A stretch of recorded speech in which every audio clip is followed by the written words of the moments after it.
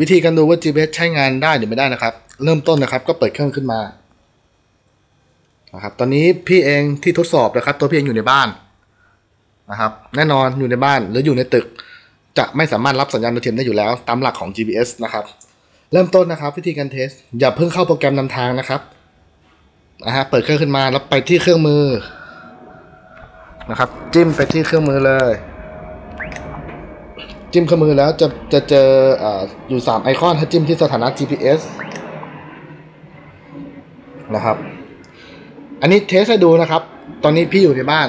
นะครับ แน่นอนมันรับสัญญาณดาวเทียมไม่ได้ เช่นเดียวกันอยู่ในตึกก็จะรับสัญญาณดาวเทียมไม่ได้นะครับ หรือขับรถอยู่ใต้ทางด่วนก็จะรับสัญญาณดาวเทียมไม่ได้นะครับ พี่ก็เลยค่อยๆเดินออกมาจากบ้านนะครับ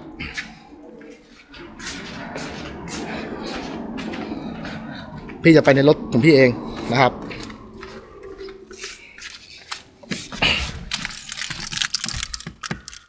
ตอนนี้สถานะที่พี่อยู่คือ ที่โล่งนะครับลองลองมาดูกราฟ เมื่อ GPS เริ่มอยู่ในที่โล่งนะครับ มันก็จะเริ่มรับซิงก์กับดาวเทียมได้นะครับแป๊บเดียวครับ มันก็จะกลายเป็นสีเขียวนะฮะตอนนี้ก็ confirm แล้วหนึ่งอย่างคือตัว GPS สามารถรับสัญญาณดาวเทียมได้ แต่ ต้องอยู่ในที่โล่งนะครับ ทีนี้มาดูตัวโปรแกรมนำทางนะครับ คลิกไอคอนตัวโปรแกรมนำทาง ถ้า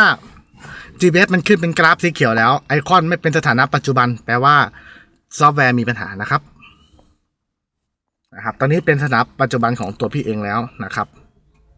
ก็ประมาณนี้นะฮะลองเปิดอีกตัวหนึ่งที่ลงไปให้นะครับจะมีสองตัว อีกตัวหนึ่งต้อนรับสู่ระบบนำทางด้วยเสียง แต่ทั้งนี้ทั้งนั้น GPS ต้องออนไลน์นะครับ ระบบ GPS เริ่มทำงาน คลิกนำทาง เห็นไหมครับ เป็นจุดจุดเดียวกันกับเมื่อกี้นี้นะครับ ดังนั้นนะครับ GPS จะใช้งานได้นะครับ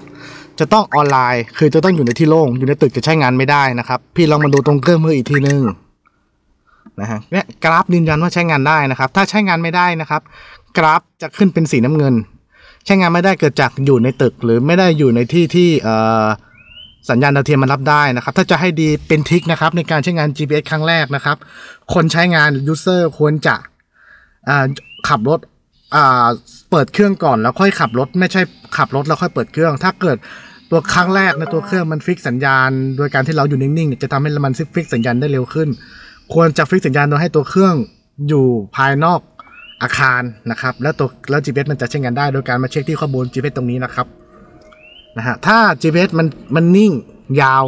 อยู่ข้างนอกแล้วนะครับ วิธีการเทคง่ายๆคือให้จอดรถก่อน แล้วก็จิ้มตรงตรงนี้ครับผมมันจะทำการ reset นะครับ reset นะฮะมันก็จะกลับมา sync สัญญาณดาวเทียมใหม่นะครับก็ประมาณนี้มันก็จะเริ่มต้นในการจูนในการ sync ใหม่เลยนะครับ ก็ประมาณนี้ครับ